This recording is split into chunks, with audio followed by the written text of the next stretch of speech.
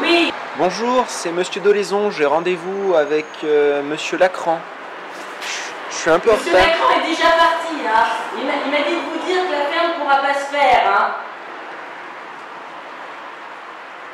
Bon, je comprends. Oui, merci. au- revoir, monsieur.